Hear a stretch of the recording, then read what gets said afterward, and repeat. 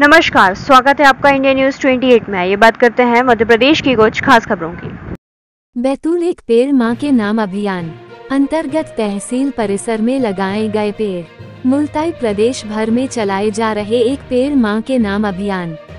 अंतर्गत पवित्र नगरी के तहसील कार्यालय परिसर में एक पेड़ माँ के नाम अभियान। अंतर्गत पेड़ लगाए गए, इस अवसर पर अनुविभागीय अधिकारी राजस्व अनीता पटेल तहसीलदार अनामिका सिंह सहित आरआई रवि पदाम कमल परते द्वारा पेड़ लगाकर उनकी सुरक्षा का संकल्प लिया गया।